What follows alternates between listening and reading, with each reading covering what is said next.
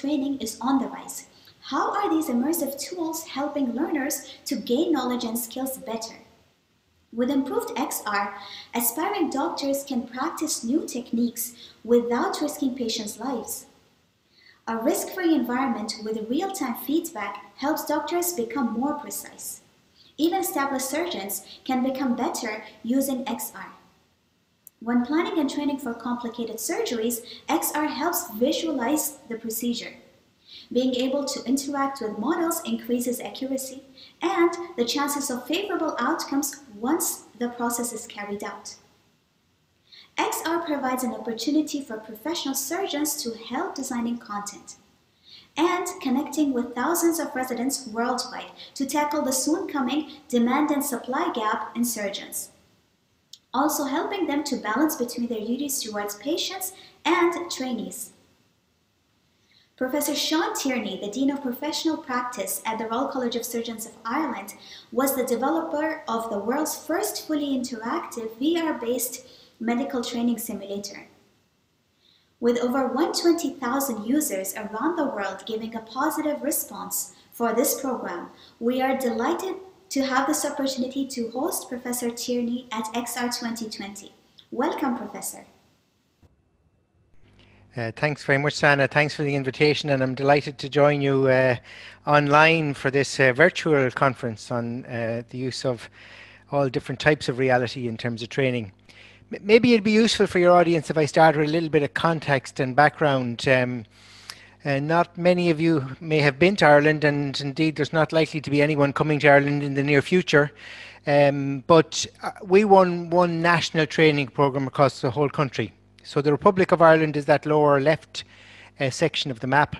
Uh, about 5 million people, about 30 acute hospitals, and we have 10 specialty training programs with 300 trainees and over 400 trainers across a variety of elective and uh, emergency hospitals. Those hospitals are grouped into six groups. And our postgraduate surgical training program, so that's residency program, is broken into two phases two years of early training and six years of higher training.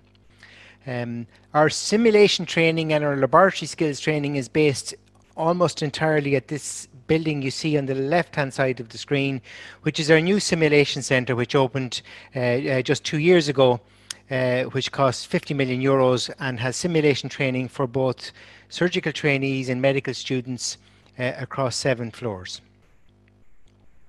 So I thought it might be useful to bring you on a journey about how we've used simulation within our training program uh, going back over the past 20 years and maybe finish up with some thoughts on how we think it might develop over the next uh, uh, 10 years. Um, one of the early studies we did over 10 years ago was to look at how we might use simulation to guide us in fine tuning other aspects of our training program. And this work by Christina Buckley looked at assessing trainees' aptitude and looking how they performed in the acquisition of technical skills um, or how they differed in their acquisition of technical skills based on their baseline aptitudes. And we used, to determine aptitude, we used some standard visuospatial tests, which are administered using a, a, a computer package, and some paper-based tests. And we looked at some students and broke them into two categories based on their performance in those tests, uh, those with high innate ability and those with lower innate ability, based on visual spatial test scores only. And what we showed was when we put them through a laparoscopic skills training program, that those with high aptitude uh, performed better, uh, learned the skills more quickly, and outperformed those with lower aptitude in almost all aspects of the training program. And while that might seem obvious, it did suggest to us, and I suppose has subsequently been shown, that those with high innate ability acquire skills more quickly and move more quickly along the learning curve. It doesn't mean that those with low aptitudes or at least lower aptitudes can't acquire those skills, but they have to put a little bit more effort into it. It takes a bigger investment, perhaps more time in the simulation lab before they reach the uh, level on the performance curve where they're ready to move into real patient experience. So we think there is a difference uh, between uh, the performance or, or, at least the speed at which those with high and low aptitudes move along our training pathway. And we now use that as part of our selection uh, using a novel um, uh, aptitude training tool that we've developed ourselves. Uh, we assign a weighting of 15% for uh, visuospatial aptitudes in our selection process in the entry uh, into surgical training. Uh, this is data from last year and we've used this again this year. When trainees come into our program, we do a full immersive simulation week to take them up to speed before we actually bring them into the clinical environment at all. So they spend a full week in the simulation lab and we published our findings uh, just a few years ago in the American Journal of Surgery. Leonie Heskin wrote that up. So it's a mandatory program, it's five days, it's full time, and it's before their clinical rotations commence. And it's focused on technical skills, but also very much on non-technical skills. And we do believe that a lot of those skills can similarly de be developed in a classroom environment, in a virtual environment, where it's much safer for patients uh, than it is acquiring these skills on a, a learn them as you go uh, in, in the real, real clinical environment. And what we've shown is that those who come in and do this immersive experience substantially improve their clinical skills over the week. And in fact, if you look at versus the group on the left hand side there, they perform better than those who went through a conventional training program before our boot camp was in place. It's been a challenge this year delivering the boot camp uh, given the restrictions of COVID-19 and it's been delivered by a combination of online and some on-site skills-based training. Um, and I think we're going to uh, look at evolving uh, uh this further in the future to see how much of this could be developed, delivered uh, at home or in the workplace to trainees, but away from the clinical environment. And we've shown that in simulated procedures, those who've gone through this boot camp actually perform better. So these procedures are performed in a simulated uh, wound or a simulated lipoma uh, or abdominal wound closure, and the trainees perform better than those trainees which haven't been through a boot camp. And the trainees are more confident, and I think we're reassured that we're increasing their confidence but also uh, doing that while increasing their abilities. Perhaps the worst outcome of all training programs is people who are more confident but not necessarily more able. Uh, and I think the boot camp probably does both. It makes people more confident, uh, less fearful of entering uh, the clinical environment, uh, and in fact, uh, th that confidence is well founded. So over the year, uh, uh, our trainees spend a lot of time in uh, the simulated environment. They do uh, five days of operative skills in our skills lab, three days of human factors training, and they undergo a formal assessment, which is used uh, as part of our um, uh, progression metrics for trainees moving on to the next phase of the training program. So simulation is all very well. Showing that people can perform better on a simulated patient is a good measure of the outcome of a simulation training. But of course, the real test is when things go wrong. And uh, uh, half the world probably thinks that Tom Hanks landed this Airbus in the Hudson um, uh, uh some years ago.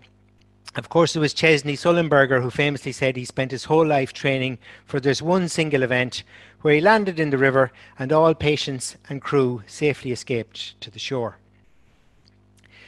We have some really good data going back uh, nearly 20 years now from uh, Tony Gallagher's group to show that residents who train to proficiency in a virtual reality environment, now this was a, a, a box simulator rather than a full VR uh, simulator, uh, uh, perform better when they perform a laparoscopic cholecystectomy than in a real patient. So having been trained to proficiency, uh, they perform better in the real world than trainees who just go through the usual observe and then operate under supervision. And we've similarly shown in superficial femoral artery angioplasty using a combination of didactic training for one group of residents and didactic training plus simulation training to proficiency and then observing them performing their first real patient uh, uh, by a blinded expert, we've shown that trainees perform better when they've been through a virtual reality to, pro to proficiency training program. So basic endovascular skills in the simulation do translate to real world performance. And not only have we shown that in the endovascular environment, we've shown it in the open surgery environment in one of the few uh, uh, studies on um, uh, open surgery using a, a, limbs and things model to train to proficiency and then performing those procedures in real patients, we've shown that trainees who are trained in that environment perform better in the real world. So simulation aids deliberate practice, it can speed the learning curve, it gives us a reproducible tool for assessment, and we believe it can accelerate people along the performance curve uh, to, to perform better in real patients, although we don't yet have good hard evidence on actual patient outcomes, uh, so less complications, lower mortality, uh, shorter hospital stay, and so on. So when virtual reality um, uh, moved to the full virtual reality environment, we looked at the uh, Samsung Gear uh, Oculus training uh, uh, tool to see what could we do to assess um, and move people along a skills training environment using this technology. And Sana mentioned our medical training sim, which was deployed in the Oculus uh, shop uh, in uh, 2017. Um, so far there's been 120 downloads. There's been very positive feedback uh, from it from all the users. Um, and uh, we're still exploring where the next uh, phase of this might be. So this is a simulated trauma patient brought into a trauma bay and taken through their initial assessment and then their subsequent um, uh, systematic treatment of complications. So we've assessed this uh, at an ATLS course looking at the uh, feedback from the faculty and from the, the trainees uh, on that course, and we published this in the American Journal of Surgery uh, in 2018. And most of the feedback was positive, and probably the greatest problem is uh, this lag that was present in that device, which caused a certain amount of nausea uh, uh, for the users.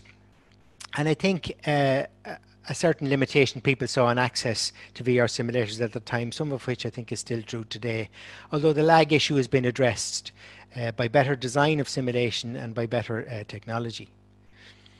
So we have no patient outcomes, but we did look at the outcome for virtual patients. In our simulated environment, bad decisions result in patient, virtual patient death.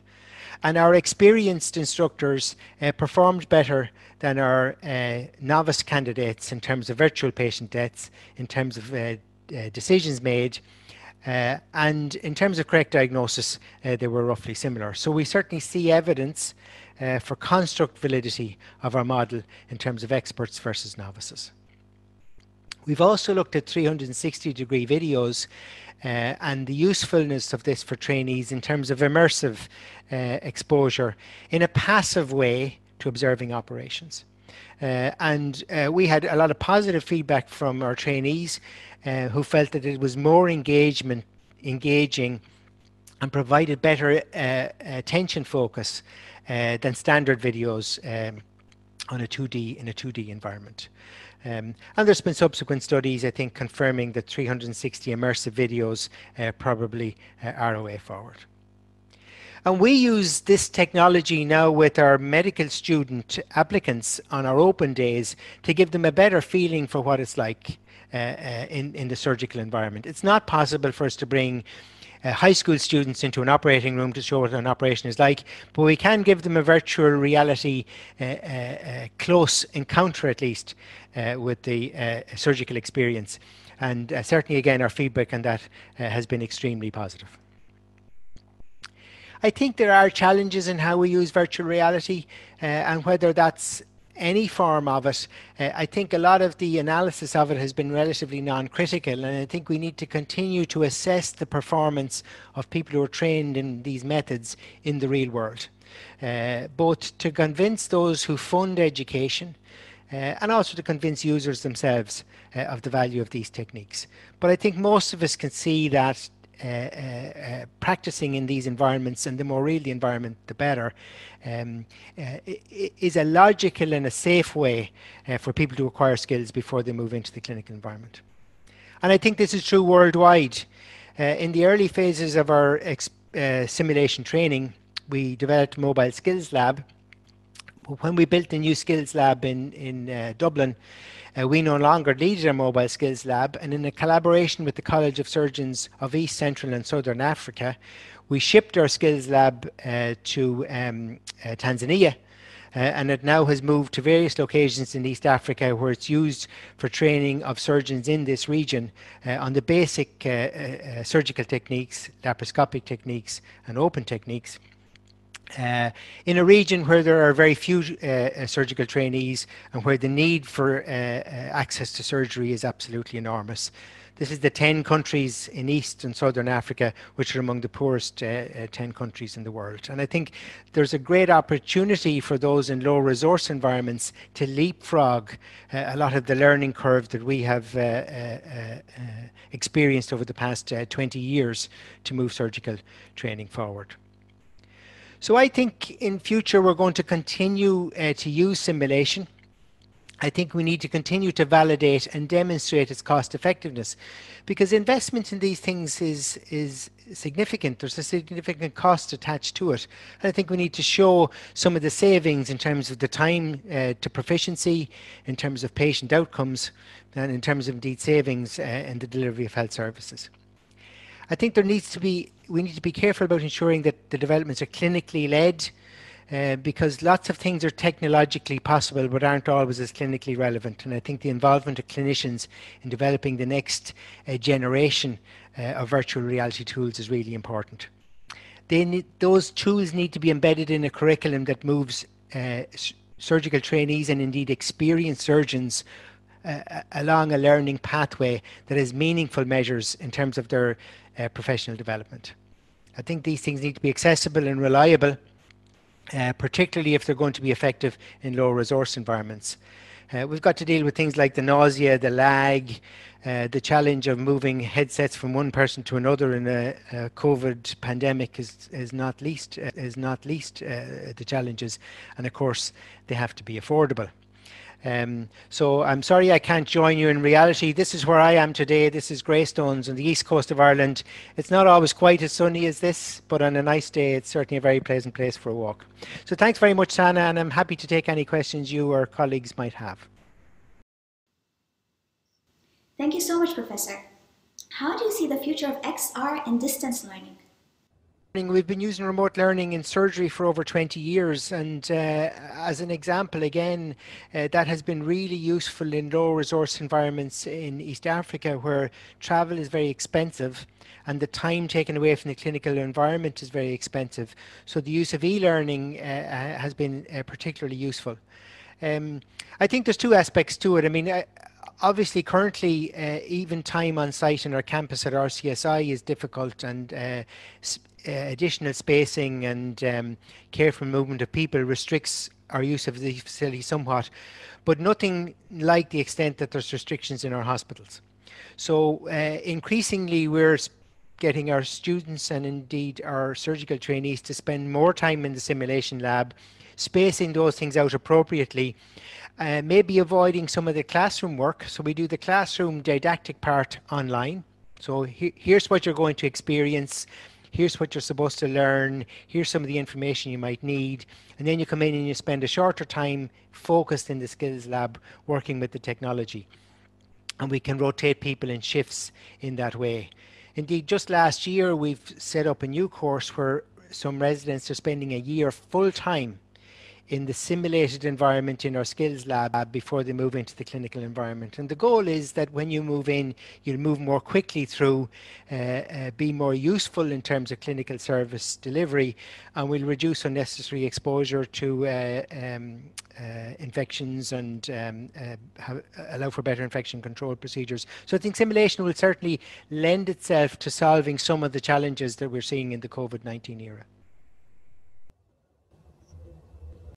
Thank you so much, Professor. Um, immersive technologies help us reach learners in remote areas and train them for life-saving procedures. Please share your thoughts about this.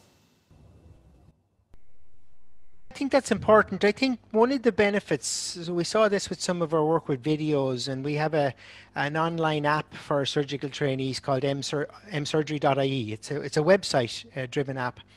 Uh, and one of the focuses we have uh, uh put there is just-in-time training. So a lot of the things people need to do, they do every day. You can train them up to a high level of proficiency and then they practice them every day and they don't need an awful lot of ongoing training. But then there are things that they do relatively infrequently. And we can prepare them for that, but it's two, three, four years ago. And yet today they're going to have to do that procedure. So providing them with some video, some virtual reality environment is a really useful way to do that. And of course, now I think as, as you're suggesting, there's an environment where people may have to do things that they've never done before for the first time because the, the, the patient demands are such, uh, uh, patients are so ill, or, or, they're moving into ICU or, the areas where they don't normally work. And I think we can provide them with a more, um, a richer uh, preparatory experience on a just-in-time basis just before they move in. So how do I put a, a central line into a patient? How do I intubate a patient, how do I ventilate a patient, there's no one else to do it, then the better the quality of the preparation I can have, the more likely it's going, uh, the, the, patient is going to have a successful outcome. So it's not desirable that people end up in those situations, but just in time training can be a really useful refresher where you have had some background training uh, but now you can't go back to the, the classroom. You need to do this for, for real uh, in the next few minutes. And I think that's probably going to become much more important over the next few years. It's very nice to meet you again, and I wish you a successful conference. Thank you very much. Thank you so much, Professor. It was a pleasure to have you with us.